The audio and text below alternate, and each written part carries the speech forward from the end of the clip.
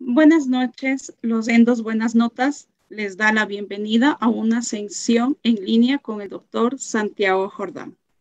Agradecemos la presencia de toda América Latina. Les mandamos un saludo cordial y un afectuoso a todos ustedes en cada una de las distintas ciudades desde donde nos escuchan. Mi nombre es Verónica Guamán y seré moderadora durante esta sesión en línea. Hola Berito, ¿cómo estás? Muy buenas tardes amigos. Eh, el área de endodoncia se caracteriza prácticamente siempre por compartir mucha de la información que es importante para nosotros. Siempre tenemos y mostramos nuestra perseverancia en nuestro trabajo y precisamente cuando transmitimos nuestros conocimientos. Esta situación actual nos ha permitido eh, crear nuevas amistades y llegar a ustedes y sobre todo fortalecer los lazos de compañerismo y mantener la unión entre todos los colegas. Ahora somos Endo Amigos. Gracias por permitirnos eh, una vez más estar con ustedes y me presento, yo soy Suriel Nestalí desde Oaxaca y les mando un saludo. Hola, Nef, muchas gracias. El tema de hoy es tips clínicos en endodoncia y estará a cargo del doctor Santiago Jordán. A continuación vamos a leer el currículo. El doctor Hizo su pregrado en la Universidad Regional Autónoma de los Andes. El posgrado lo realizó en Brasil, en endodoncia en la Universidad Uningá en Bauru. Tiene un diplomado en endodoncia en la Universidad Santo Tomás en Bogotá, Colombia. Docente de la Universidad Uniandes, conferencista nacional, presidente del Colegio de Odontólogos de Pastaza y limitado su práctica a la endodoncia.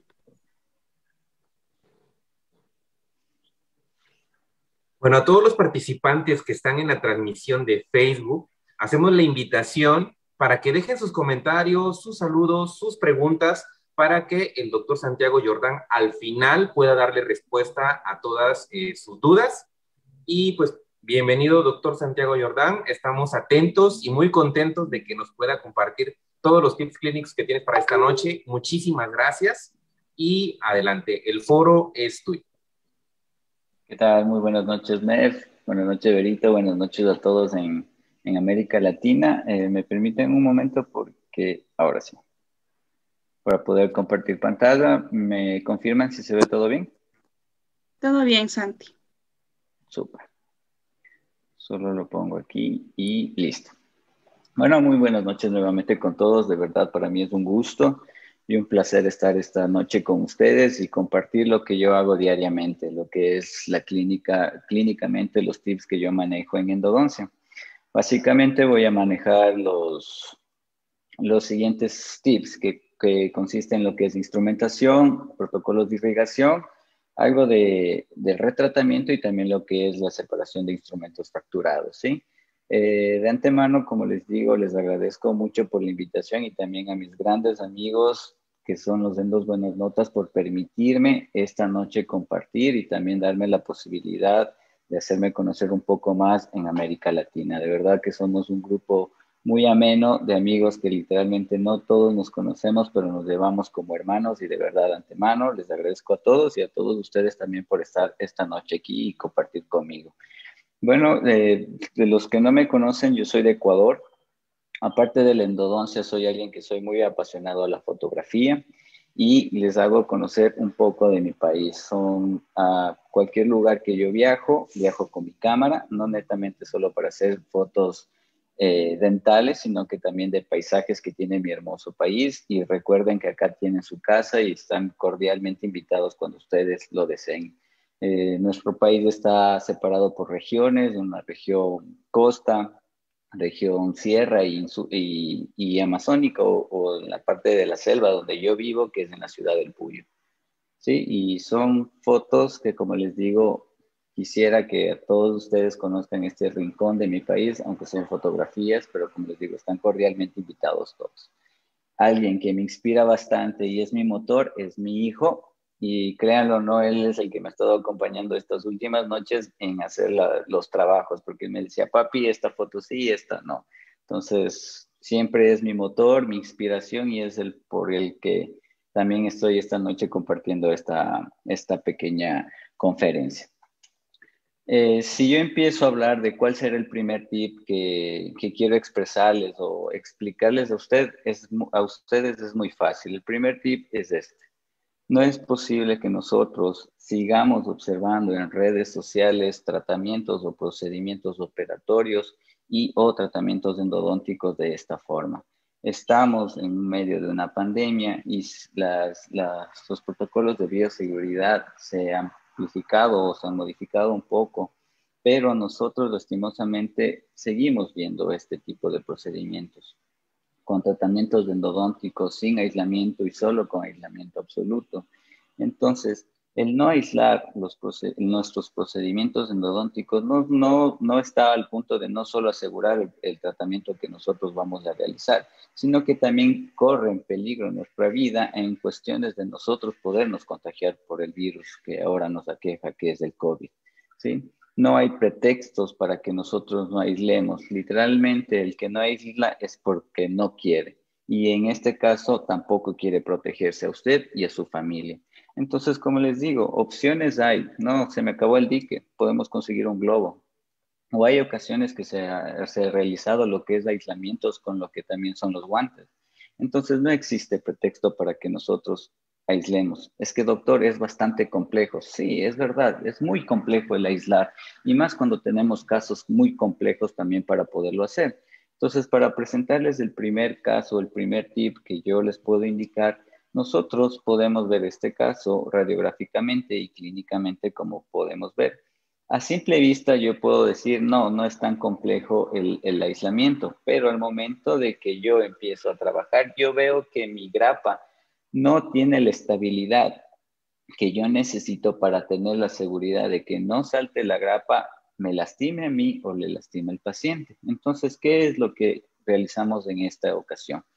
Esto no es realizado por mí, es por un colega que se llama Luis Moncayo, con el que yo trabajo y con el que yo he aprendido bastante lo que es eh, tips de, aislamiento. Para nosotros estabilizar la grapa, nosotros utilizamos algo que es la godiva. Nosotros colocamos la godiva y fortalecemos y estabilizamos lo que es nuestra, nuestra grapa para poder nosotros trabajar tranquilamente, ¿sí? Eh, con esto tengo la seguridad de que no va a haber movimiento, no va a existir filtración y yo tengo la posibilidad de poder trabajar sin ningún problema. El, el Agodiva ayuda bastante, pueden utilizar otro tipo de materiales de impresión que también nos ayudan para estabilizar la, la. Entonces, ¿qué yo consigo con esto? Para poder documentar, para poder trabajar, para que no haya destrucción del, del hipoclorito a la cavidad bucal. Entonces, es un tip que les ayudo que ¿Cuánto me costó o cuánto nos costó aislar? Creo que nos tomó casi 15 minutos. Pero con la práctica y el seguir eh, perfeccionando nuestros procedimientos de aislamiento, esto va a ser algo rutinario. Y antes de que te, te pudiste haber demorado unos 10, 15 minutos, luego van a ser 5 y después vas a cortar los tiempos. Entonces creo que es algo fundamental lo que es el aislamiento absoluto y más ahora con esto que nos está quejando que es el COVID, ¿no? Y bueno, aquí vamos ya cuando yo concluí la endodoncia, el doctor hizo la preparación, la colocación del poste. Estos son provisionales nada más y es como quedó. La parte provisional y la parte de la endodoncia, ¿sí? Pero yo pude conseguir todo este tipo de procedimiento con un buen aislamiento absoluto. Recordar que estos solo son provisionales y que posterior se le realizó el tratamiento definitivo en cuestiones estéticos de, su, de restaurativos.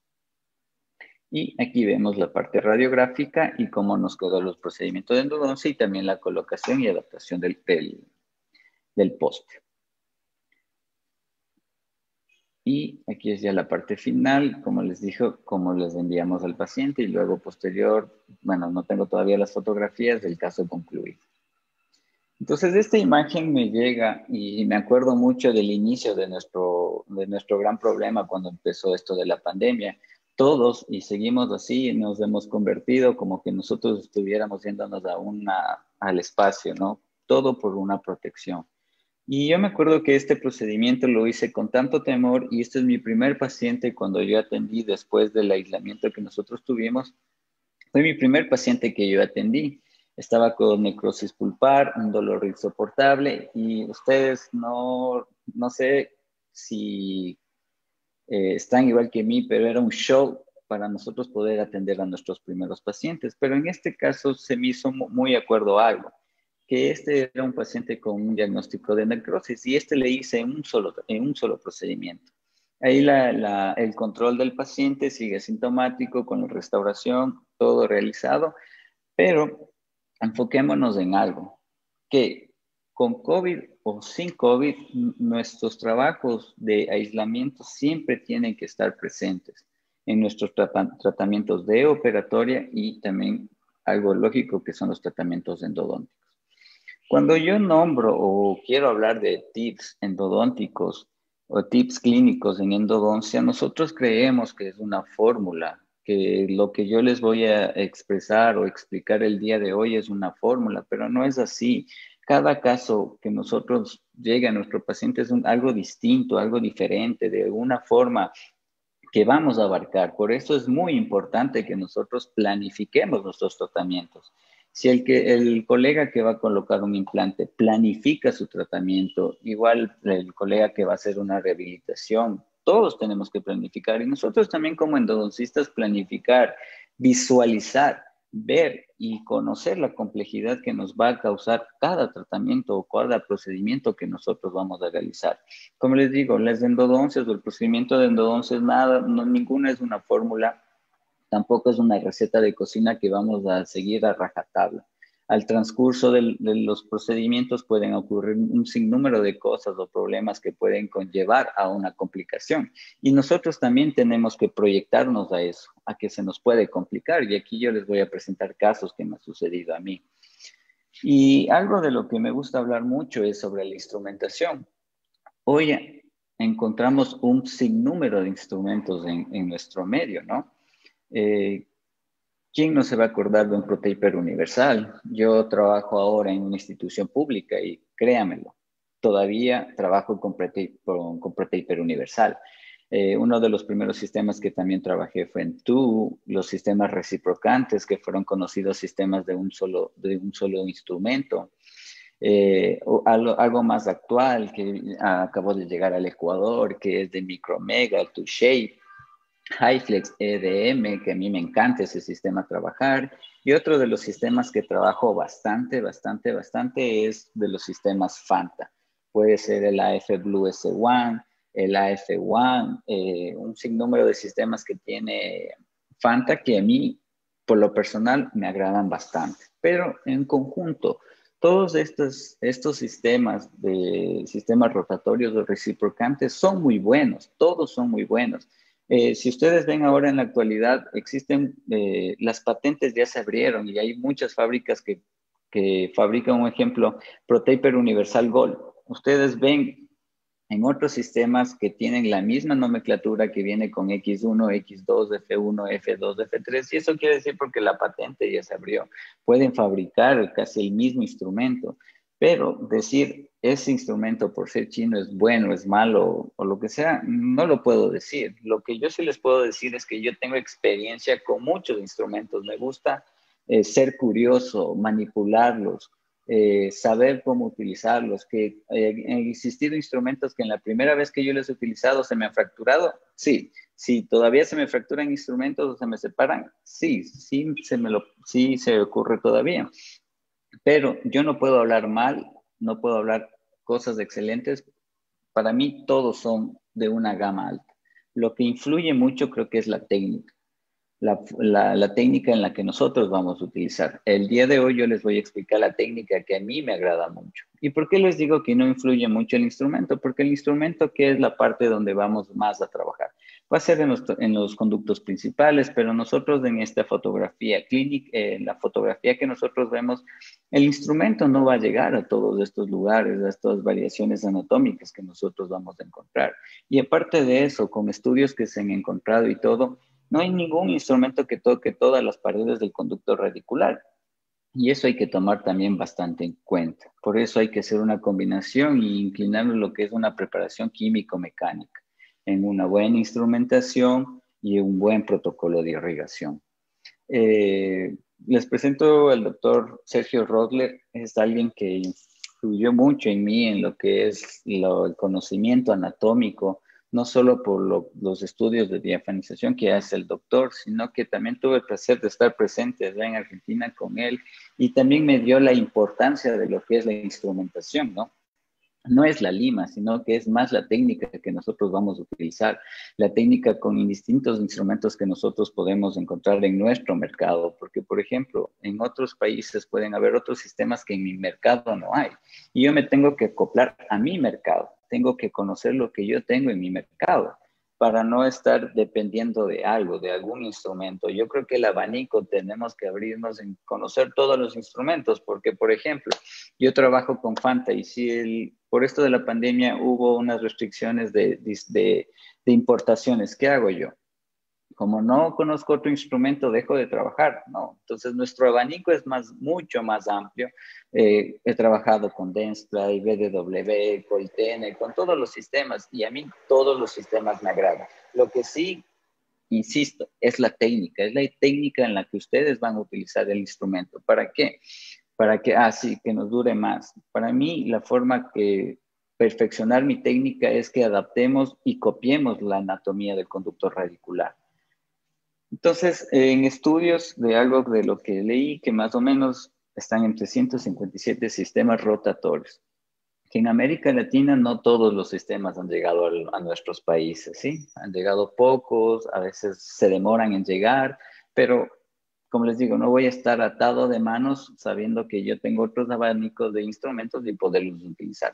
Como les digo, todos son muy buenos es algo de una fotografía que se caracteriza o algo que hice como tipo meme y es verdad de lo que les digo en el mensaje. No importa la flecha, no, lo importante no es la flecha, es el indio. Es verdad, nosotros tenemos una gama de instrumentos que ustedes observan ahí y todos son muy buenos, son excelentes y que pueden tomar curvaturas muy complejas y todo eso sí, son muy buenos esos instrumentos, pero como les digo, hay que tener técnica. Y en el plan de tratamiento, como les digo, es nosotros estudiar la radiografía, visualizar la anatomía, ver qué tan complejo se nos va a hacer nosotros realizar la instrumentación. Pero radiográficamente nosotros no vamos a conocer qué tan complejo es. Sí, nosotros nos vamos a dar una idea, pero hay dos cosas del, bueno, de, varias, de varios fragmentos del libro que es muy importante y yo creo que muchos de nosotros estudiamos del libro de endodoncias y técnicas y fundamentos del doctor Colbert y hay algo que me gusta bastante y es esto, que durante el tratamiento endodóntico no es posible ver el conducto radicular. A través de los instrumentos podremos sentirlos y obtener la información necesaria. Nosotros con una buena interpretación radiográfica y más lo que les acabo de decir, con nuestro instrumento, sentir y percibir la información que nosotros podemos detectar al momento de qué, de, utilizar nuestras limas de, para hacer un glide por ejemplo, una 8, una 10 o una 15. Él es el que te va a dar la información correcta de qué tan complejo y en qué porción de la raíz más o menos está la complejidad y el cuidado que tú tienes que tener. Aparte de todo esto, hay algo que nos caracteriza a nosotros, que para nosotros tener un mejor, eh, un mejor procedimiento o un éxito en un tratamiento endodóntico hay que tener la tranquilidad y la paciencia y mucha concentración. No es mejor el endodoncista que acaba en una sola cita el tratamiento o el procedimiento endodóntico. Tómate las citas que tú necesites, el tiempo que tú te, necesites para que para con llegar a un fin. Y el fin es realizar un buen tratamiento endodóntico. ¿Sí? Entonces, para mí en instrumentación, ¿cuál es mi mejor herramienta? No es el último sistema rotatorio, el último sistema reciprocante con la terminación en cuestiones de aleación. No, para mí la mejor herramienta es una lima 10, una lima 8 y una lima 15. ¿Por qué? Porque esta es la que me va a ayudar a dar la información. Yo no puedo introducirme en el conducto radicular para determinar, ah, no, sí, en el tercio medio hay una gran curvatura que debo tener cuidado. Entonces, nuestros ojos, los endodoncistas, el que proyectamos esta complejidad es con este, con la lima 10. Puede haber, en mi experiencia, puede haber un sinnúmero de sistemas, como les digo, pero hasta ahora no van a sustituir lo que es una lima manual. Sí, y entonces esto es lo que les hablo del plan de tratamiento. Yo radiográficamente ya me modifico, veo las curvaturas, veo la complejidad y ahora, ¿qué hago? Manualmente yo voy reconociendo mi, mi, conducto, mi, mi, conducto radicular, ver la complejidad. ¿Y qué sistema voy a utilizar, Doc? ¿Cuál me recomienda? ¿Cuál es el que usted utiliza? Yo utilizo todos. Si ustedes ven en mi caja endodóntica, yo tengo todos los sistemas que se puede ver en el mercado. Todos, no obvio ninguno. Y si les digo que tengo ProTaper universal es porque tengo ProTaper universal en el, en el consultorio del, del centro de salud donde yo trabajo. Y en cuestiones de técnica, ¿cuál es la técnica que a usted le agrada y la que a usted le ha dado mucho éxito? Es esta. La de parte del doctor Chanotis, algo de lo que es el control de torsión. Esto que nos resume en la cuestión del artículo es lo que es ajustar, activar y retirar. En esto les voy a explicar gráficamente de lo que viene en el, en el artículo del doctor Chanotis, que tuvimos el placer de tenerlos aquí en mi país y realizar el workshop con él y ese tipo de instrumentación me quedó hasta ahora. Es la técnica que yo he repetido en todos mis casos y más en casos complejos y es esto. Es nosotros llevar al instrumento hasta un ajuste a la máxima resistencia apical sin activación. Posterior a eso, activamos nuestro instrumento y luego retiramos, ¿sí? Nunca ejerciendo una presión apical. Este tipo de preparación va a ser una preparación corono apical, ¿sí? ¿Qué lima es la que yo utilizo? ¿Cuáles son las limas que yo utilizo? Puede ser el sistema que ustedes utilicen, pero siempre hay una lima que tiene una conicidad, una 25 con una conicidad 0,5, 0,6 o 0,7. Son las limas que yo inicio utilizando. ¿Esto qué quiere decir? Que entonces nosotros introducimos el instrumento hasta donde se ajuste sin presión hacia apical, activamos uno, dos y retiramos. Este protocolo que les acabo de explicar, yo lo utilizo mucho, ¿sí? Y me dice, ¿qué ventajas tiene para yo poder utilizar este tipo de instrumentación? Que yo Ah, me ayuda bastante en lo que es preservar lo que son los, las limas de menor diámetro y de menor conicidad. ¿Por qué yo ayudo a esto? Porque yo elimino, eh, conformo la parte cervical y media y estas limas, como por ejemplo la de Highflex EDM, que es la 2004 y la, y la de 1004, si no me equivoco, estos instrumentos, si yo ingreso directamente, sin una preparación, sin un buen glide pad, se me van a distorsionar, se me van a dañar enseguida. Y no sé si a ustedes les ha pasado que a las primeras veces que utilizan este instrumento son los primeros que se les daña. Pero donde yo consigo mayor efecto o mayor resultado, le saco más provecho a, este, a estos sistemas, independientemente del sistema que ustedes quieren trabajar, es la parte de la parte media para abajo. Ahí es donde yo más le saco el jugo a este tipo de limas, ¿sí? Y con el tipo de técnica que estoy utilizando en la, actualidad, me permite que tenga más, más vida útil estas limas. Siempre permeabilizando, siempre utilizando una lima 10 por cada instrumento. Y miren, el momento en cuando yo tomo la longitud de trabajo. Yo no tomo enseguida eh, la longitud de trabajo. Yo tomo cuando yo ya hago una preparación cervical, media y un poco ya hacia apical. Cuando yo libero toda esta cuestión, ahí sí ingreso mi lima 10 y tomo mi longitud de trabajo. Posterior a eso, en cada instrumentación va a haber un cambio eh, de, irrigante, que en este caso es el hipoclorito, que va siempre a, ser eh, modificado o cambiado por cada instrumento. Y como les digo, utilizando siempre una lima 10. Toda esta secuencia que aparentemente sí es un poco más demoroso, pero es mucho más seguro, tiene de resultados que el que yo me tome, copie eh, la anatomía del conducto radicular, son casos que yo los he realizado y observen cómo yo no es que literal calco lo que es la instrumentación del, conducto radicular, lo que es la anatomía del conducto radicular. Supónganse en este ejemplo. Miren esto, en, en los conductos mesiales. Para tomar esa curvatura, la anatomía tan compleja, es con la instrumentación que les digo. Primero lo que es liberación, utilizando una lima 2506, eh, rotatoria, de cualquier sistema, trabajamos desde corona apical, tercio, tercio tercio cervical, tercio medio y posterior a eso, dependiendo la complejidad anatómica, nosotros vamos a introducir. Si utilizamos una lima 25, eh, realizamos una instrumentación descendente, una 20, una 10, hasta yo poder lograr lo que es la longitud de trabajo. Y lo que logro con esta instrumentación es esto.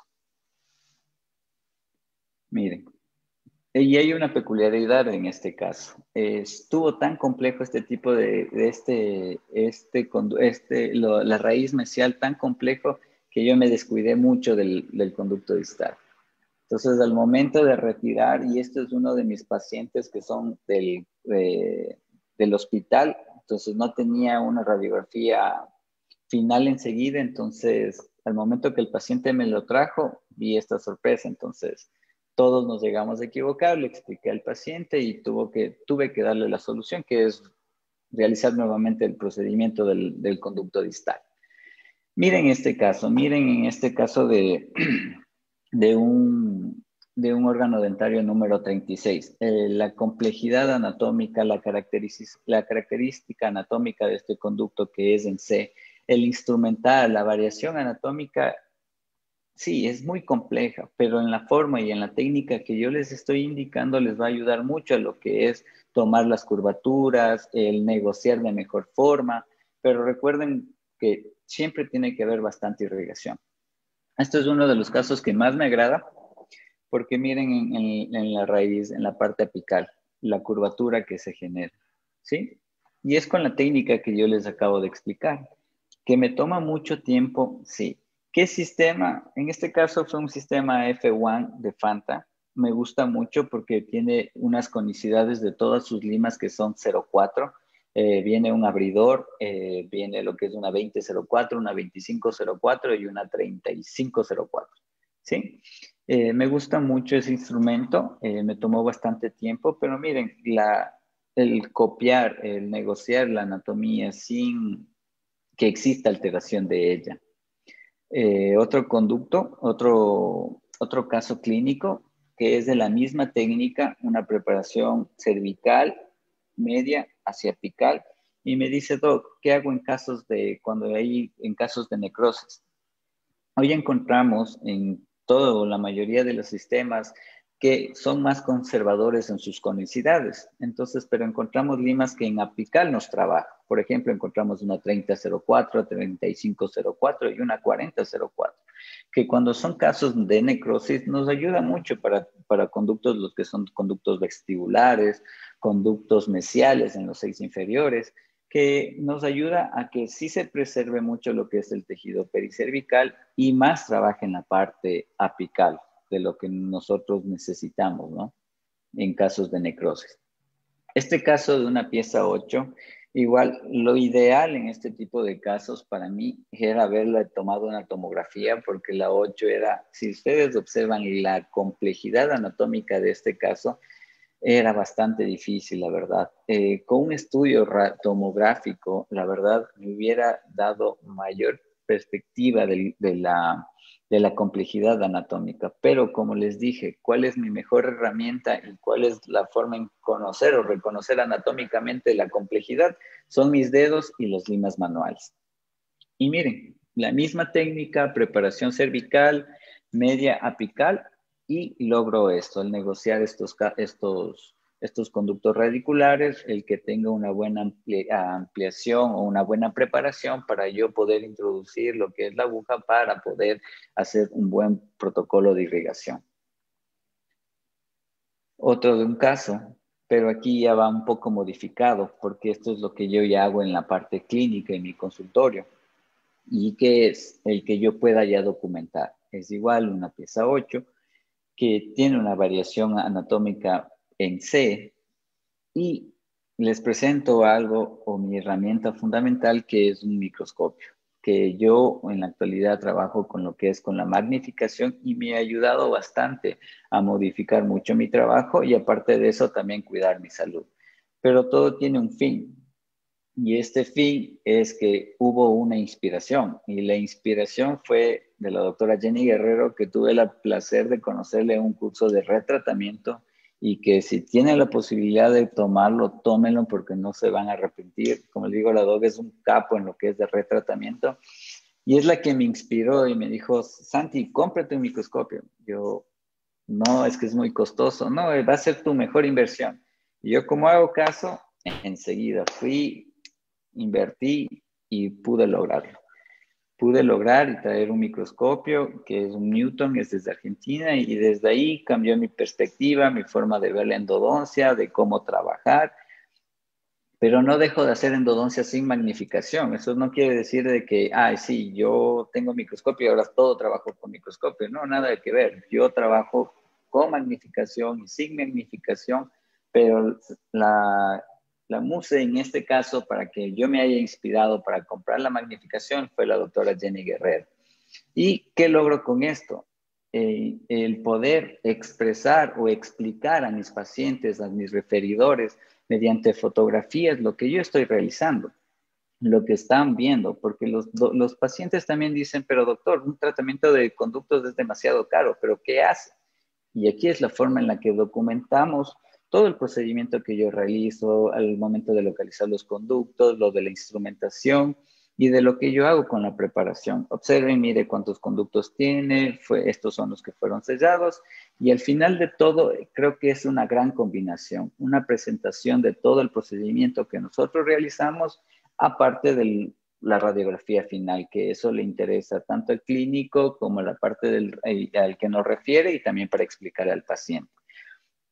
De igual manera, ¿cómo manejamos este caso clínico? Igual, siempre una preparación corono apical, siempre con un instrumento 25 con unicidad 0506 y dependiendo la variación y la complejidad, nosotros vamos cambiando o modificando lo que es lo de la instrumentación. En cuestiones de irrigación, en cuestiones de irrigación, eh, es un libro muy interesante, es de lo que he sacado también parte de esto de la conferencia y de los tips también que he aprendido y también de conferencias que he aprendido de los tips que, les acabo de explicar y tiene siempre algo que como objetivos básicos. De uno de los objetivos básicos es que fluya bien, que el, el irrigante que ustedes vayan a utilizar llegue al lugar donde usted desee llegar para que haga el efecto que necesita. El efecto químico. Vamos a poner una balanza. Hipoclorito, qué concentración, clorexidina o cuál es mejor. Eso es lo que nosotros vamos a determinar en lo que es los objetivos básicos, del efecto mecánico también que generan los irrigantes. Y algo muy fundamental, la seguridad. ¿Qué yo puedo hacer para tener seguridad al momento de lluvia irrigar? Entonces, otra cosa más, para evitar esto de los accidentes, influye mucho lo de la jeringuilla que nosotros utilizamos. En cuestiones de presión, la mejor que nosotros vamos a utilizar es la de 5 milímetros. No, es que, Dog, a mí me gusta la más grande porque ahí ahorro tiempo. A veces el ahorrar tiempo generamos mayor presión y eso genera que nosotros generemos lo que son los accidentes o por extravasación de hipoclorito. Así que una recomendación que se les puede dar es la utilización de una, de una jeringa de 5 milímetros. Entre agujas, Doc, ¿cuál es la mejor? Todo depende qué aguja utilices y a qué longitud y la preparación que uno tiene. Nosotros en el mercado vamos a observar que tenemos agujas que tienen la salida lateral y también la salida final. ¿Cuál es mejor? Para mí, yo he utilizado todas. ¿Cuál es la mejor? La mejor es la, la o sacarle el jugo a cualquiera de estos tipos de agujas es depende de la longitud que vamos a trabajar. Entonces, aquí hay un diagrama de lo que se observa cuando nosotros utilizamos algún tipo de estas agujas. Si nosotros utilizamos una aguja de salida lateral, ustedes ven el efecto que, que genera, en donde hay mayor potencia. La mayor potencia se está localizando son en las paredes laterales, lo que hay una diferencia con los que son de salida en la parte final. Entonces, con este diagrama que nosotros encontramos del estudio que se observa, nosotros vamos a determinar la longitud en la que nosotros vamos a trabajar. Entonces, ¿cuáles son los consejos que se les puede dar para lo que es irrigación? Cuando son de salidas laterales, nosotros vamos a trabajar a un milímetro de la longitud de trabajo. Pero cuando la, la, aguja está con salidas a la parte final, La longitud en la que nosotros vamos a trabajar para tener seguridad es de, de 2 a 3 milímetros. ¿Sí? Entonces aquí tenemos un ejemplo. ¿Sí? Si nosotros trabajamos con, el, con salida lateral, vamos a tener que trabajar, como les digo, a un milímetro. Pero, ¿cómo voy a tener esa referencia? La referencia y algo que le aprendí al doctor Goldberg es que nosotros de limas que ya queremos desechar o algo, nosotros guardarnos los topes de goma. ¿Para qué? Para nosotros poder colocarlos aquí y colocar a la longitud que tenemos que trabajar. ¿Por qué? Porque al momento del ser el movimiento de va y ven, nosotros podemos modificar esa longitud, pero en cambio nosotros teniendo varios topes vamos a, tener un sustento de que no exista una modificación de la longitud en la que vamos a trabajar. Y con eso vamos a tener la seguridad de trabajar, un ejemplo, a un milímetro. Es lo mismo que ocurre con el de salida lateral, que nosotros vamos a trabajar a 3 milímetros de la longitud de trabajo, ¿sí? Para ocasionar que, puff, que es lo mejor, no. Los puff, o el objetivo de todo, que todo tiene que estar adentro del conducto radicular. Que si generamos o se realiza un puff apical no es que sea éxito, al contrario, puede causarnos problemas. Pero sí, Dog, es que radiográficamente se ve muy bonito, sí, es verdad, muy bonito, pero es más bonito que todo se mantenga dentro del conducto radicular, ¿sí? Para respetar todo lo la parte biológica del, de, de, los elementos anatómicos que encontramos alrededor del órgano dentario. Sí, que se ve muy bonito, sí, es verdad, muy bonito. Miren este caso que observamos un delta y algo que Algo que influye mucho en esta cuestión es de la activación. ¿Activamos o no activamos los, las sustancias irrigadoras? Para mí sí. Tengo dos. El uno es el endoactivator y el otro es el ultra X. ¿Cuál es el que yo utilizo? Yo utilizo dependiendo la, la complejidad anatómica. Eh, bueno, en la actualidad el Ultra X ya viene con tres puntos que nosotros podemos modificar y recurvar lo que es la punta de irrigación para casos de anatomías complejas. Pero la, la estructura del endoactivator, las puntas de activación, me facilita cuando de verdad son conductos muy complejos al llegar a la longitud que yo deseo para yo activar. ¿Sí? Entonces, también depende mucho de la activación que nosotros queramos utilizar, depende de la anatomía que nosotros vamos a tener para, para poder utilizar cada uno de, de las activaciones del, del, de la sustancia irrigadora. Eh, ¿Qué concentración yo utilizo? Santiago Jordán le gusta utilizar el 5%. ¿En qué diagnóstico? Todo diagnóstico. Eh, Doug, yo utilizo el 2.5. Ok, está bien, está muy bien que tú trabajes al 2.5 o al 5%. recuerden que no es que influya, es la concentración. Lo que influye mucho es el volumen, el volumen de irrigación que vamos a utilizar.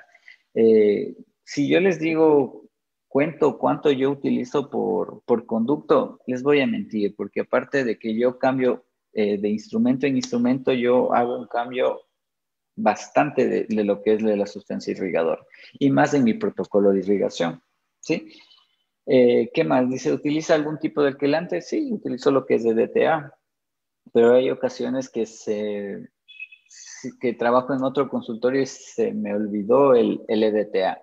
Eh, no, tampoco me em, evito no de obturar o terminar mi procedimiento, no, digo, sigo activo eh, sigo con mi protocolo de irrigación, como les digo, bastante volumen en esta cuestión. Eh, hay una, hay un, una punta de irrigadora que me gusta mucho para este tipo de casos, para estos casos complejos, para que yo pueda tomar la longitud a la que yo puedo trabajar. Y son las Irriflex. Sí, que si ustedes ven, tiene la flexibilidad para yo poder trabajar a la longitud que yo desee, lo que yo no puedo conseguir con las otras agujas de irrigar. ¿sí? Es una buena aguja de irrigar, se les recomienda utilizar, pero ¿cuándo utilizarla?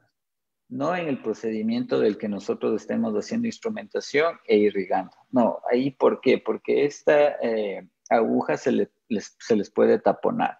Yo lo que les recomiendo que esta aguja se les utilice como protocolo de irrigación final. Sí, que solo netamente sea en irrigación, porque me ha llegado a pasar y también eh, he escuchado comentarios de colegas que al momento que nosotros hacemos instrumentación y estamos irrigando con esto, lastimosamente esta aguja se tapa. Pero es muy buena la flexibilidad que nos ayuda, me ayuda a trabajar a la longitud que yo quiero, la que yo deseo para tener mayor éxito en lo que es la irrigación. En tips de retratamiento de los que les puedo hablar, ¿cuáles son las mejores herramientas que yo puedo utilizar en retratamiento? Eh, de las que nosotros hemos conocido, desde lo que yo conozco en pregrado, son las limas Headstrong y un disolvente. Puede ser citrol o silol. ¿sí? Eh, creo que todavía se maneja este tipo de técnica y no es que menosprecie esta técnica. O, yo en mi caso, yo ya no la utilizo, utilizar un disolvente. Eh, observé y también con cursos que se realizó y con los tips que me han indicado que el generar calor es mucho mejor que utilizar un disolvente, ¿sí? Hay muchos colegas que todavía utilizan lo que son las limas Herstrom para realizar los tratamientos de el, el, retirar la, la gutapercha. Pero ¿en qué fin nosotros eh, llegamos cuando realizamos un retratamiento? Tenemos un objetivo fundamental. ¿Y cuál es el objetivo fundamental? El retirar lo más rápido la gutapercha, el evitarnos eh, complicarnos en este caso, ¿sí? Entonces tenemos estas opciones y como todo ha ido con la tecnología, ha ido evolucionando, encontramos también sistemas rotatorios y sistemas reciprocantes que son para retratamiento, ¿sí? Los que conocen Protaper, Protaper retratamiento, eh, también hay el sistema Fanta de retratamiento y también encontramos en micromega en, en, Ecuador, de lo que yo, de lo que conozco en el medio de Ecuador. De los tres sistemas, ¿cuál es bueno? Todos son muy buenos. Son muy buenos, pero tienen alguna característica. Y eso es lo que ustedes tienen que reconocer y al saber cuándo van a utilizar estos sistemas. Si ustedes ven, las limas más pequeñitas tienen algo algo que tienen que tener bastante en cuenta y que es que tienen la parte de la punta es activa. Si nosotros no direccionamos bien o introducimos mal lo que es la lima, nosotros podemos generar una perforación. Así que hay que tener bastante, bastante, bastante cuidado al nosotros utilizar este tipo de limas. ¿Sí? Que son muy buenas para retratar y nos han ayudado bastante, sí. Pero también existen los sistemas que nosotros habitualmente utilizamos, que pueden ser bien rotatorios o reciprocantes, ¿sí? De los que más utilizado o de los que más se utilizan para hacer retratamientos, me gusta mucho lo que son sistemas reciprocantes. Puede ser el reciproc normal o un reciproc blue. Me gusta trabajar con ambas. O ¿Cuál también me gusta trabajar? Me gusta trabajar con las limas que son de conicidad bastante amplia, como por ejemplo una 06, una 07, ¿sí? Son limas que yo utilizo para retratar y me ayuda bastante a lo que es retirar mucho más rápido la gutapercha. ¿Por qué? Porque lo que generamos es una fricción y esa fricción que genera es calor. Y el calor hace que se reblandezca la gutapercha y nosotros podamos retirar mucho más rápido la, eh, la gutapercha en lo que es retratamientos. ¿Sí? Entonces, ¿cuál sería el ideal o una combinación ideal? El utilizar silol, sí, si ustedes les va muy bien con eso, síganlo haciendo con una combinación de Headstrom con sistemas rotatorios o reciprocantes o sistemas de retratamiento, sí, es una excelente opción. A mí, peculiarmente, no me gusta y ya no utilizo lo del silol. ¿Por qué? Porque al momento, bueno, esto me di cuenta más al momento de trabajar con magnificación. La gutapercha al momento de utilizar el silol se impregna mucho en las paredes del conducto radicular y es bastante complejo retirarla, ¿sí? Entonces, ¿yo qué les recomiendo? Calor, ¿sí? Calor, para nosotros generar bastante y que retirar fácilmente lo que es la gutapercha. ¿Y qué es lo que yo utilizo? Yo les pongo varios ejemplos, sí, no estoy casado con una casa comercial, pero yo les pongo varios ejemplos de lo que yo utilizo. Puede ser el Fast Pack con el que nosotros cortamos y compactamos lo que es la gutapercha y también puntas de ultrasonido. Las puntas de ultrasonido nos han ayudado bastante. A mí, en, dos, en aparte de activar el irrigante, me ayudan bastante lo que es eh, termoplastificar la gutapercha. Entonces, yo al momento de empezar los retratamientos, yo caliento con cualquiera de estos sistemas la gutapercha e introduzco un sistema rotatorio. Como les digo, un sistema rotatorio que sea de conicidad bastante amplia. Y un instrumento que siempre tiene que estar en, en, mi, mis kits de retratamiento es esta punta de ultrasonido, es la R1 eh, de Helsen, que si ven tienen una, en la punta una flecha y esa es la que me permite retraer la gutapercha de las paredes. Es así, se les recomiendo que tengan en su kit. Es muy, muy buena. Eh, es de Helsen, es la R1. Y sí, la recomiendo, es muy, muy buena. Pero yo qué hago? Yo hago una combinación. Sistemas de retratamiento yo no utilizo. Sí, yo utilizo más lo que son sistemas reciprocantes, utilizo también lo que son sistemas rotatorios, con limas nuevamente, repito, con conicidades bastante amplias para poder empezar a retirar y negociar de mejor manera los conductos radiculares, hacer una preparación y también retirar lo que es la gutapercha. Eh, la punta que ven aquí es de la Ultra X, es la punta Gold. Por tener mayor resistencia, me ayuda bastante a lo que es retirar lo que es la gutapercha. ¿sí? Y aquí también yo les presento casos y también este par de, esta fotografía de limas de las que yo utilizo. ¿He utilizado ProTaper Universal para desobturar? Sí. Eh, sistemas que tengan conicidad 2506, sí. Rotatorio o reciprocante, sí. Pero conicidad, eh, limas 2504, no. Son muy delgaditas y al momento de querer nosotros hacer un tipo de fricción o poca presión, estos instrumentos lastimosamente se nos van a fracturar. Entonces aquí está un, un pequeño video de lo que más o menos yo utilizo, el utilizar el sistema rotatorio reciprocante, retirar y seguir eliminando la gutapercha. Sí, les voy a adelantar porque este ya es otro caso porque vi algo más complejo porque fue rellenado todo con, con resina y el paciente estaba con sintomatología, entonces me tocó repetir nuevamente todo el procedimiento de endodoncia y, pero para yo negociar y llegar a longitud de trabajo, el desgaste siempre fue con puntas de ultrasondino diamantados, ¿sí? Pero más era por el ejemplo de yo poder retirar el, el, la forma en la que yo retiro la gutapecha y las cosas que yo utilizo para poder, en la combinación que hago. Y ahora yo les voy a presentar dos casos. Miren este caso es como ya concluyó mi tratamiento. Es una combinación de mi colega, el doctor Luis Moncayo, y mi persona que yo trabajé con lo que es el retratamiento. Y miren cómo me llegó el paciente. Sí, es el caso anterior de la radiografía. Entonces aquí yo involucro mucho, lo que veo es una perforación y también un tratamiento de conductos que está con una longitud corta aparentemente. ¿sí?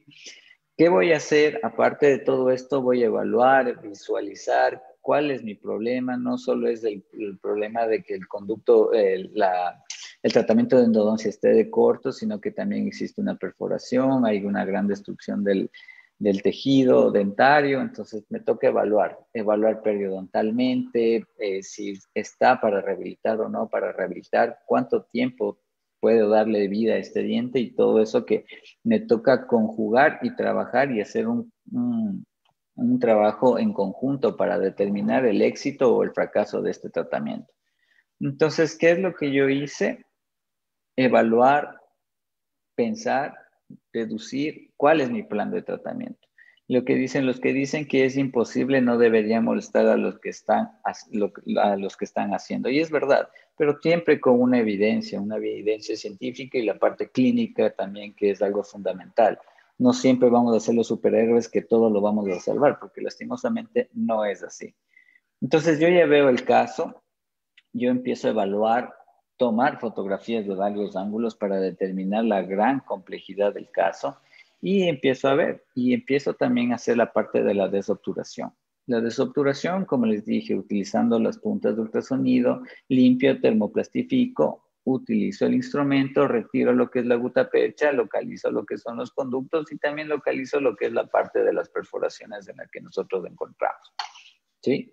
Y esto es el trabajo final, ya con la restauración, colocada eh, un biocerámico que lo hice con la técnica de cono único, que fue con BioRoot, y los, e hice, llamamos, la perforación con biodentín. Y posterior fue ya la que es la parte estética, la rehabilitación y la restauración. Y encontramos este tipo de casos. Ahora, lo importante de todo esto no es solo la parte radiográfica, creo que también influye mucho lo que son los controles. Si vemos, el paciente llegó a la consulta en noviembre 8, el procedimiento y se le explicó todo lo que se iba a realizar, que fue el 14, y se hizo un control en octubre 13 de 2020 eh, se ve muy bien, eh, está, está eh, los tejidos están sanos, está sin sintomatología, el paciente está muy bien. estamos para llamarle para otro control y el procedimiento está encaminando a, a un buen pronóstico. algo que también influye mucho en lo que son los, los tratamientos de, que, ¿Por qué se genera mucho lo que es retratamiento? Y es por qué, porque nosotros obviamos lo que es un tratamiento de un conducto radicular no tratado. Sí, eh, en cuestiones del artículo que les acabo de pasar, aquí nos da una referencia en cuestiones de simetría de cómo poder localizar un conducto radicular. Entonces, lo, fundamental es que cuando nosotros nos eh, ubiquemos ya en la cámara pulpar, en el piso, podemos hacer esto, un trazado entre los conductos mesiales y otro desde la parte mesial hasta la parte distal. Si nosotros encontramos que esta línea que nosotros trazamos y el conducto distal se encuentra en el centro, hay una gran posibilidad de que nosotros encontremos un solo conducto en distal. Pero, ¿qué ocurre cuando nosotros realizamos este trazo y en este trazo nosotros verificamos o observamos que el, uno de los conductos se encuentra más hacia vestibular o más hacia lingual?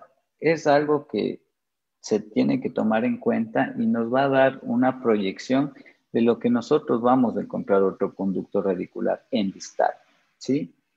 Y qué pasa también en lo que nosotros hemos consultado, hemos visto lo que es el famoso MM, medio mesial. Es de igual manera, esto ocurre cuando nosotros encontramos que los conductos tanto mesio vestibular y mesio lingual se encuentran muy separados. Y ahí en el istmo, nosotros con un desgaste compensatorio, va a haber la gran posibilidad de lo que vamos a encontrar el MM o mesio vestibular, ¿sí?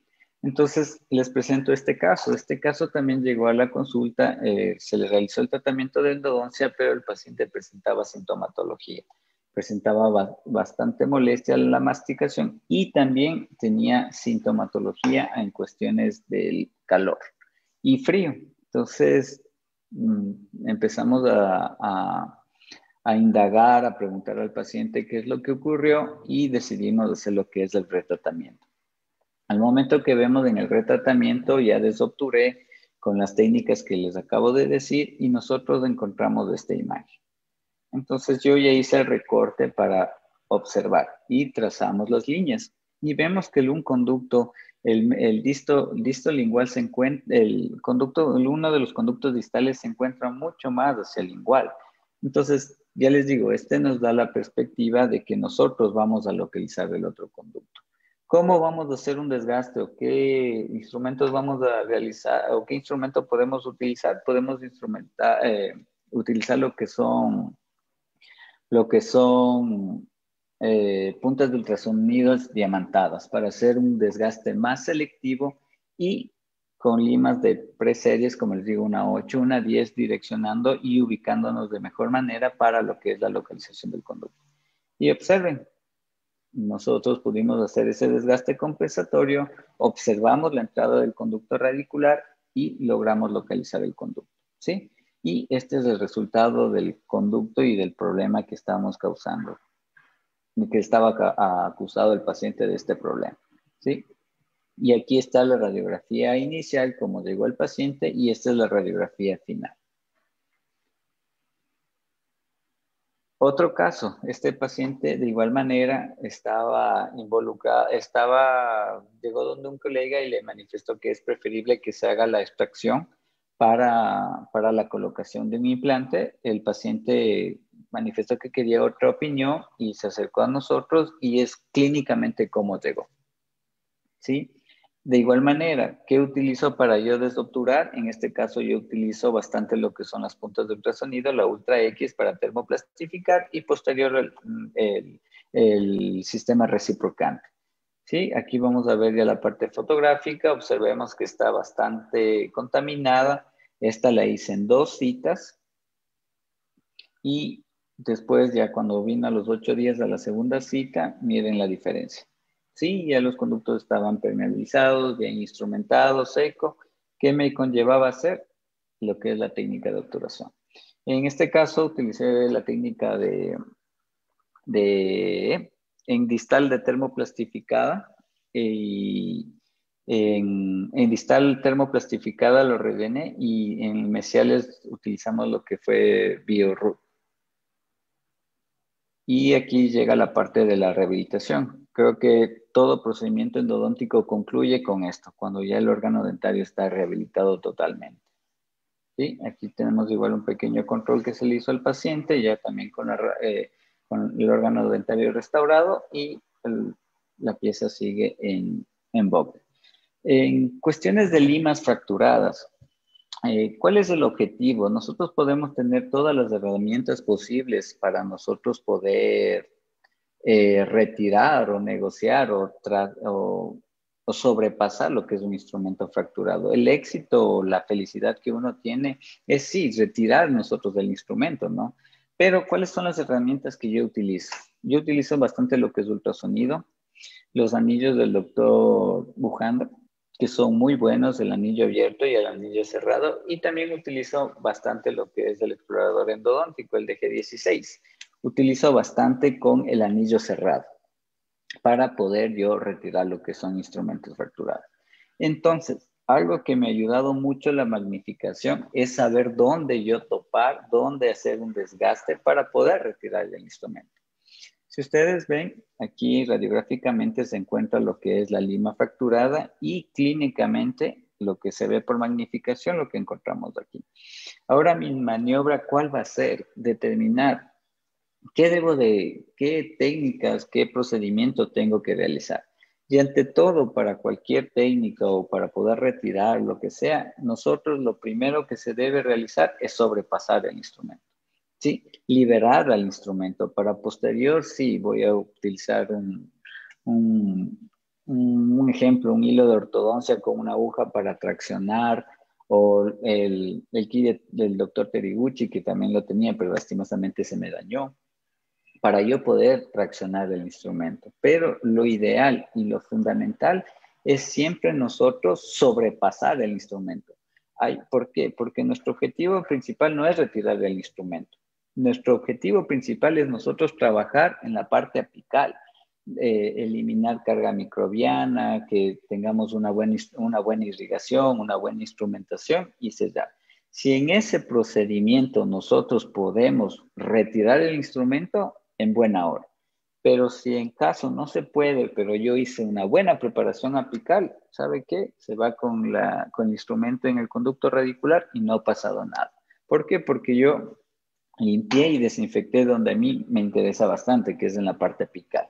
¿Sí? Pero hay ocasiones que sí nos funciona y sí podemos retirar. Y como les digo, en este caso, si ustedes lo observan, esto ya es en la parte preclínica que eh, sabemos realizar y es que yo intento sobrepasar el instrumento, sobrepaso el instrumento e inicio una instrumentación.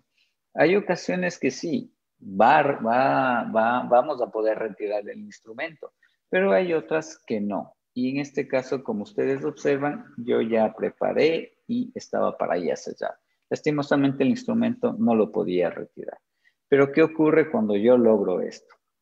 Si ustedes ven, esta, eh, la instrumentación, el instrumento fracturado, pero ¿cómo hago yo? Yo utilizo las puntas de ultrasonido, libero alrededor, alrededor del tejido, siendo bastante conservador, para, eh, para que esto donde el, eh, la lima o el instrumento se haya adherido, nosotros poderlo liberar. Posterior a eso, con las puntas de ultrasonido, ¿por qué les digo que mucho me gustan las del Ultra X? Porque son de diámetro 25 y conicidad 0,2. Entonces son bastante finas y bastante resistentes. Entonces, al nosotros ejercer la vibración con el instrumento y a la pared, me ayuda a que ésta se pueda liberar y poder traccionar lo que es, es el instrumento fracturado. Que utilizo bastante irrigación, utilizo EDTA, que me ayuda bastante para yo poder trabajar en este sentido. ¿Sí? Y ustedes ven lo que acabo de observar, que observan aquí el instrumento retirado. Aquí ya vemos radiográficamente cómo está y la preparación. Eh, lo, agradable de esto es que el paciente es mi colega y un amigo que vino desde Quito, bueno, que tuvo primero la confianza de venir y poderle hacer el procedimiento. Entonces ya nos toca hacer lo que es las radiografías de control para determinar el éxito, Dios no quiera el fracaso de lo que es el procedimiento que acabamos de realizar. Aquí vemos otro. Es una lima muy, muy, muy pequeña. Probablemente pudo haber sido una 8 o una 10. Pero ¿qué ocurría? Que yo al introducir no me dejaba llegar a longitud de trabajo, no me dejaba al momento de yo utilizar el localizador apical, no poder trabajar. Entonces, eso iba a impedir a que yo eh, realice una buena desinfección de la parte apical. Entonces, ¿qué realicé yo aquí? una instrumentación, utilicé puntas de ultrasonido, no logré retirarlo, la verdad, pero sí logré sobrepasar y limpiar y desinfectar y esto es el resultado. Todo es con puntas de ultrasonido. La inclinación de la pieza dental era tan compleja que yo no podía observar eh, el fragmento separado, pero al momento de yo hacer la preparación, utilizar puntas de ultrasonido, eh, liberar o sobrepasar en este caso, me ayudó bastante a hacer la preparación y tener lo que vemos ya como restauración final. Esto fue la parte endodóntica, posterior a esto ya iba la parte periodontal también y luego la parte de la, parte de la rehabilitación. Eh, otro caso que yo encontré aquí es de una chica muy, muy joven, 19 años. Igual, si ustedes observan, miren cuántos instrumentos están fracturados. Eh, se ya tuvo bastante desgaste, la verdad, al momento de hacerle la, endodoncia y retirarlo, eso estuvo demasiado complejo, pero de igual manera, como les digo, instrumentos, eh, puntas de ultrasonido, liberar las partes eh, a su alrededor y al momento de poder traccionar o si no, al cuestión de vibrar, eh, con el ultrasonido poderlo retirar. Eh, me gusta mucho utilizar lo que son los anillos del doctor Bujanda, más el anillo cerrado con el, explorador, el DG16, y haciendo no una presión constante con en el ultrasonido. para activar el ultrasonido, sino es como que nosotros estamos calentando el carro, ¿no? Eh, presionar, retirar, presionar, retirar, presionar, retirar. Y ese movimiento que nosotros generamos hace que la vibración eh, al momento de topar el, instrumento empieza a liberarse y después de eso a, salir lo que es el, instrumento fracturado.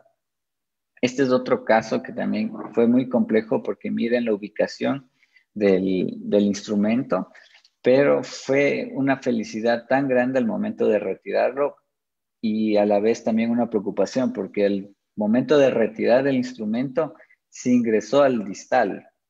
Entonces yo ya me asusté, me preocupé, entonces otro tipo que se puede hacer, que al momento que ustedes van a trabajar en un conducto donde van a realizar el retiro de un instrumento, es lo mejor es tapar los conductos vecinos, aquí el, otro, el otro mesial y el distal. ¿Con qué? Yo utilizo ahora lo que es teflón.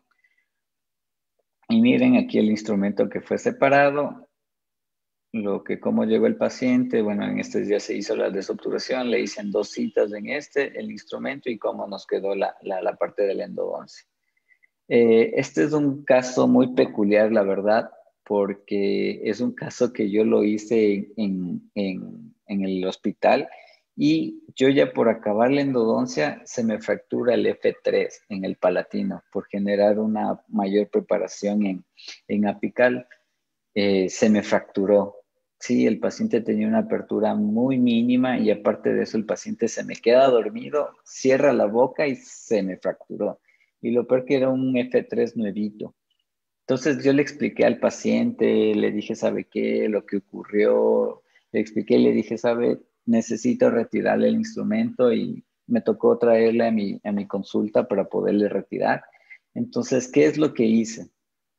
El objetivo es igual, el objetivo básico de todo para nosotros retirar un instrumento fracturado es que es liberar, el sentir que el conducto literal esté bailando para nosotros poder traccionar el, el fragmento fracturado.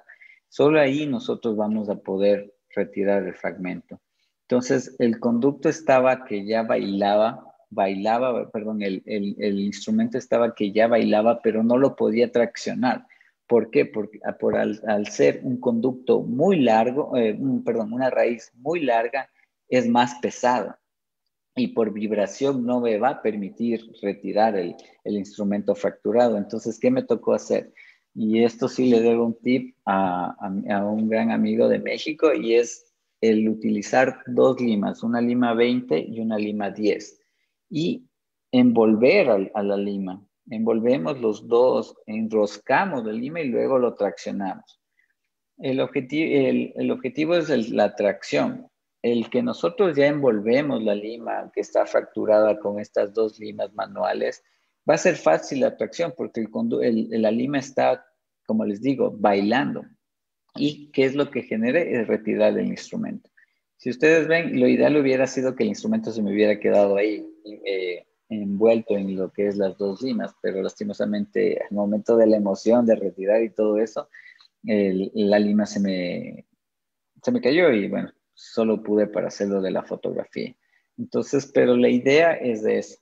¿En qué conductos? No creo que yo en mi caso, yo utilizaría este tipo de técnica en conductos amplios, como en un conducto distal, en un palatino, en canino, incisivos, en el que te permita también introducir. Yo he visto que hacen en otros conductos, pero de verdad no me arriesgo. Lo supe, perdón, conocí de la técnica por mi amigo, como le digo, pero al momento de que yo lo puse en práctica, lo iba a hacer en práctica en un conducto que iba a ser amplio, ¿no? Después de ir mejorando, hacer la parte de preclínica, eh, sé que me va, creo que voy a tener mejores resultados y voy a tener una variante más para poder resolver estos casos. Eh, bueno, para ya ir terminando, los de la parte de la endodoncia no es que nosotros compitamos con los implantes, ¿sí? Pero yo siempre a mi mayoría de mis colegas, amigos que converso y digo, ¿tú te dejarías de hacer una extracción por calarte un implante? Y la mayoría me contesta no. Entonces, ¿por qué nosotros lo hacemos con los, con los pacientes? Y yo les digo, hay algo con lo que nosotros no podemos combatir todavía. Y yo ahí sí acepto que les coloquemos un implante. Pero si nosotros tenemos endodónticamente, periodontalmente y la parte de rehabilitación, poder salvar un órgano dentario, es fundamental salvarlo.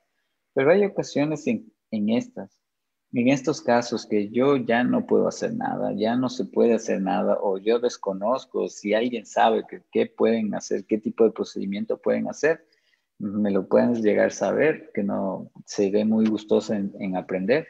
Y es esto, con las facturas. Son, son cosas o es nuestro talón de Aquiles que nosotros podemos tener y son cosas que ahí sí, sabe que el, llamen al doctor de implantes para programar y planificar lo que es una colocación de un implante. Pero de ahí, caso contrario, no. Como les digo, si ustedes mismos como, como eh, colegas no quieren hacerse una extracción de un órgano dentario, ¿por qué lo hacemos con nuestros pacientes? ¿Sí? Y hoy hay otra pregunta del millón que, les quiero explicar. ¿Funciona la endodoncia? Miren el caso de la parte de la izquierda, vino con un gran proceso periapical.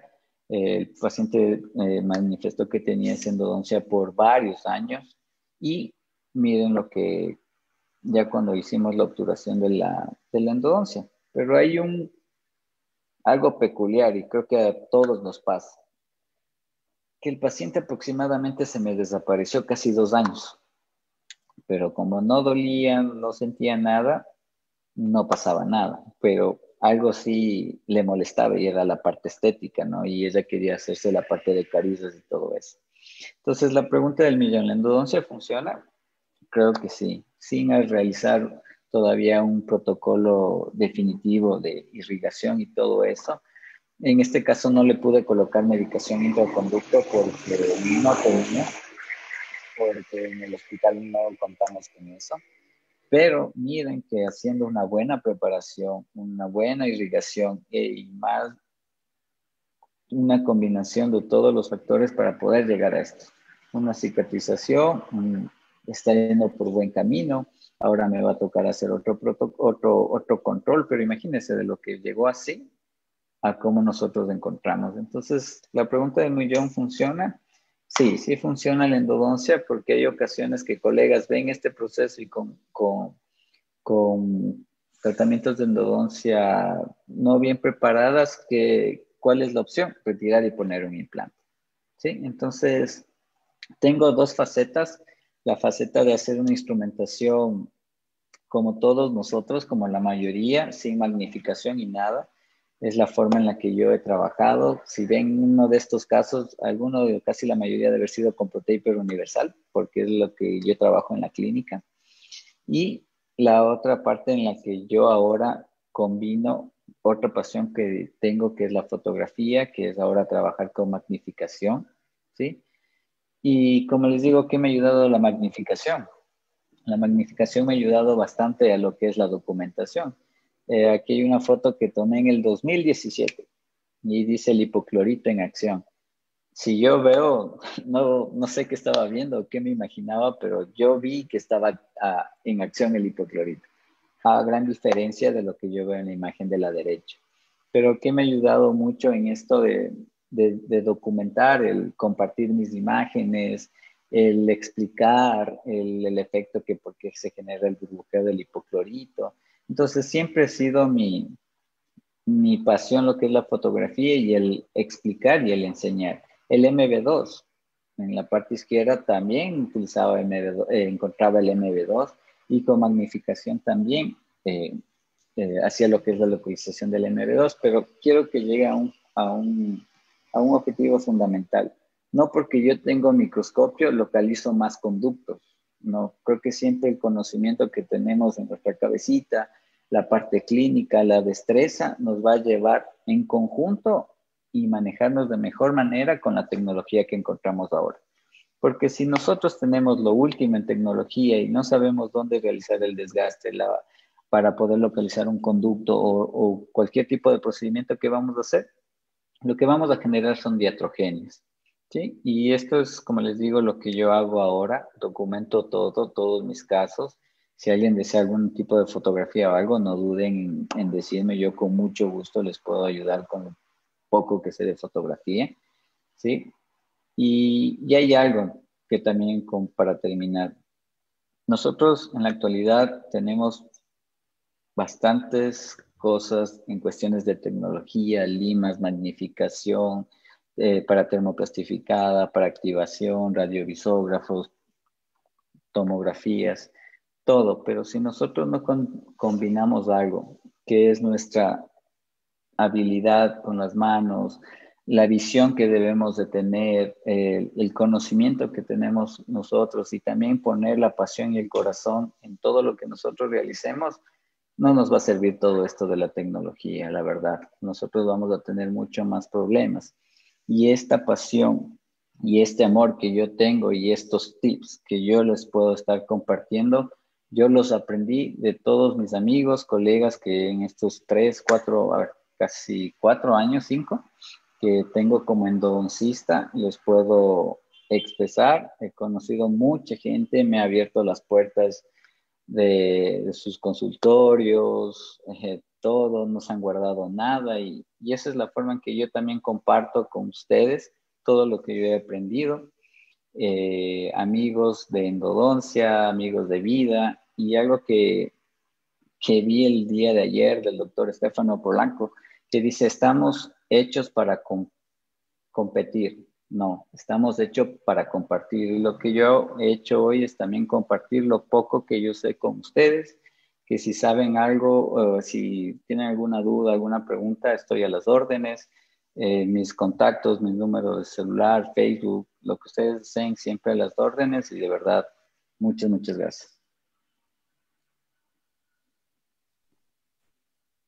Muchas gracias, doctor Santiago Jordán, por tan espléndida disertación. Su charla fue muy amena, ha logrado mantener atentos a todos los espectadores.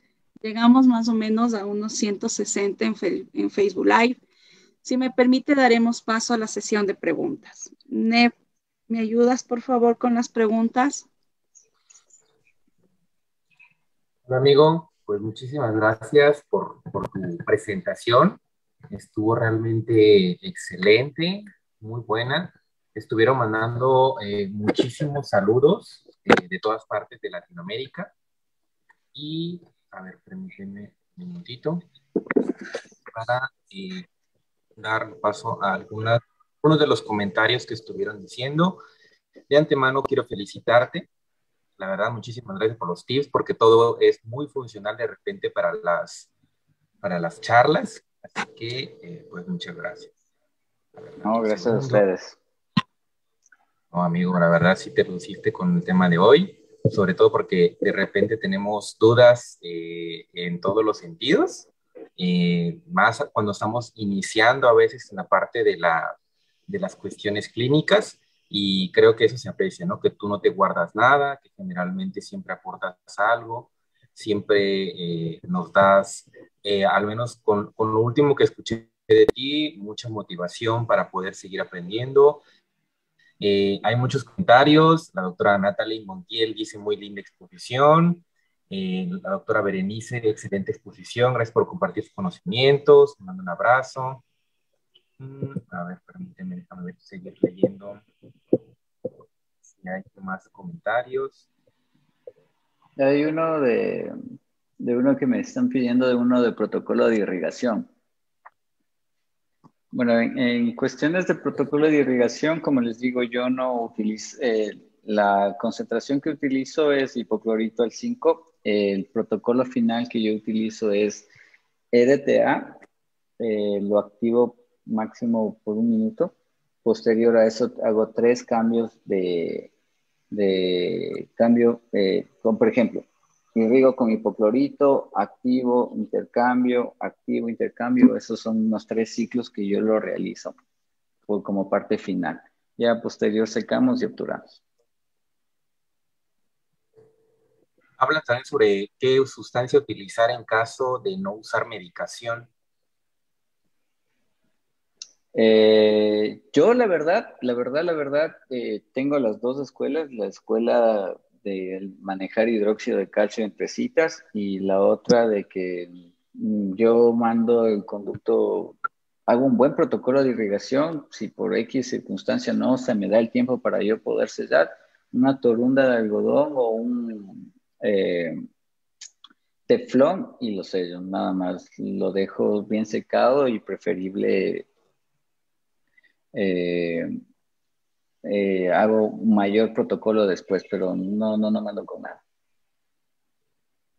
Doctor, ¿qué podría recomendar a los clínicos que se encuentran limitados en prácticas de endodoncia en la especialidad? Yo creo que es una pregunta bastante interesante. Sí, bueno, actualmente eso sí es bastante complejo, ¿no? Lo que es practicar, bueno, no, no nos queda más que hacer la parte práctica, el tener algún colega que te ayude para hacer las aperturas y empezar la instrumentación. El, como les digo, el abanico que nosotros tenemos para eh, poder conseguir ahora los instrumentos, creo que es algo muy variado para que tú puedas actualizarte. Mm, observar el tipo de protocolo que yo utilizo, habrá otro doctor que utilice otro tipo de protocolo. Los lives están para eso. En donde Buenas Notas está para eso, porque hay muchos tips que nosotros y toda la América Latina comparte, que es instrumentación, y tú puedes ir combinando, conociendo, preparándote, leyendo lo que tienes que leer, la preparación, y ya posterior ponerlo a, práctica, pero no hay que no hay que quedarnos porque lastimosamente ustedes siguen preparándose, siguen pasando el semestre y luego con pacientes va a ser bastante complicado. Eh, te quería hacer una pregunta sobre, una, consulta sobre los anillos del doctor Bujanda, en, qué, en, qué, tipo de ultrasonido lo ocupas, porque en el Ultra X dicen que no se puede adaptar y creo que estoy eh, viendo que tú también ocupas este tipo de equipo ultrasónico, ¿verdad? Sí, el Ultra, el Ultra X es netamente para las puntas del Ultra X. No se les puede adaptar otro tipo de puntas. Eh, yo tengo un Satelec que se adapta muy bien. Eh, también influye mucho la potencia en la que nosotros vamos a utilizar. Eh, también he utilizado en un NSK. yo utilizo entre un rango de 1, 2, máximo 3, porque eso también el, el, el anillo puede fracturarse. Pero como les digo, la forma ideal de lo que yo he visto para yo poderlo utilizar no es con una presión constante, ¿no? De la activación constante, sino es presionar, retirar, presionar, retirar, presionar y retirar para poder sacarle más provecho a lo que es los anillos. Eh, te mando un saludo Función Paraguay, desde Argentina. También preguntan la marca del microscopio. Eh, de Newton es Newton de Argentina. Que si nos puede regalar más tips en otra. claro. Tengo una pregunta, doctor. Eh, ¿Qué tipo de aguja usted utiliza para irrigar? Eh, tengo, verán, es que ahora mm, es malo decir una marca porque para mí es como las limas, todas son muy buenas las Navetips, la, ahora, vienen unas Fanta también. Eh, si les, soy sincero, yo compré por una de esas páginas chinas, se me llegó unas 100 agujas y las agujas son muy buenas. Yo creo que no es el qué tipo, ¿no? Es la técnica, el cómo utilizarlo, cómo saber utilizar las agujas, como les dije, a qué longitud, dependiendo qué salida tiene. Es que igual que las limas, hay que sacarles el provecho y es más en la técnica que nosotros. Para mí todo, todo es muy bueno. No veo marcas, no veo nada. Para mí, si están en mis manos, hago la parte preclínica y posterior. En la clínica yo sé que va a ser algo diferente y le puedo sacar más provecho, pero para mí todas son muy buenas. Los que tú encuentres en tu mercado, haz la parte preclínica primero y posterior pruébalo con tus pacientes. Pero si a mí me dicen una marca en específico, Todos para mí. No es casado con ninguna marca. No. otra pregunta. Eh, las jeringas que usted utiliza, ¿de cuántos ml son? De 5. 5. La recomendación es de 5. También he utilizado las de 10, pero en cuestiones de presión y estudios que se generan, que la mejor y la adecuada es la de 5. Porque si nosotros utilizamos una de menor al momento de hacer la presión, el hipoclorito se nos sale enseguida. En cambio, cuando utilizamos de mayor volumen, al generar presión, nosotros no tenemos un, eh, no regulamos mucho la presión que nosotros generamos y entonces también podemos generar una extravasación. Doug, y la última pregunta. ¿Cuál sería un tips que usted nos puede dar para encontrar el MB2? Ah, caray. sí. A ver, para el MB2 siempre es, creo que hay muy, eh, hay que direccionarnos y ubicarnos, ¿no? Sí, yo me acuerdo que el tip que yo aprendí, el primero es que desde el mesio vestibular trazábamos una línea hasta palatino y ahí tendríamos que hacer el desgaste o formar un triángulo. Creo que la mejor forma en la que nosotros podemos localizar el MB2 y si ustedes lo ven con tomografías y todo, es un desgaste compensatorio hacia la pared mesial. ¿Sí? Direccionándonos hacia la pared mesial y sí tomando algo como referencia el conducto disto vestibular. ¿Sí? Generamos un triángulo, generamos el desgaste, pero como les digo, un desgaste que se va a ubicar con, con una endoceta o con unas puntas de ultrasonido diamantados. Pero creo que el la mejor sí, la mejor referencia es un desgaste en la pared mesial de la parte vestibular. Ya, don, muchas gracias. Nev, de pronto otra pregunta. Más saludos para el doctor. Y, eh, doctor, buenas noches. Que, eh, excelente presentación. Quería preguntarle sobre tips este, que recomienda en caso de instrumentos fracturados que sobrepasan el límite de trabajo? Bueno, en este caso hay que eh, ver costo-beneficio. Si se da la posibilidad de poder retirar el instrumento, hacerlo. Pero caso contrario, creo que va a ser mucho más complejo y ese instrumento puede ingresar más. Entonces, yo creo que en esos casos, haciendo un buen estudio, lo realizaría algo quirúrgico. Sí, me, me, inclinaría más por lo quirúrgico. Perfecto, este, doctor Santiago. Pues muchísimas, muchísimas gracias por atender todas las respuestas de la comunidad y sobre todo por compartir tips clínicos, su experiencia y conocimiento eh, en la manera en la que tú lo haces. Eh, para nuestro grupo en Dos Buenas Notas, la comunidad endodóntica te lo agradece y realmente disfrutamos cada una de las cosas que estuviste compartiendo con nosotros. Eh, le solicitamos a todas las personas que están participando de la sesión en el live que estén atentos para nuestra siguiente plática y eh, también hacer una invitación para que cada uno de los doctores que quieran aportar algo al grupo con casos clínicos, tips clínicos y fotografía, todo es bienvenido a la comunidad para poder retroalimentarnos entre todos. Entonces, muchísimas gracias y que tengan muy buena noche. Muchas gracias. Buenas noches. Hasta luego.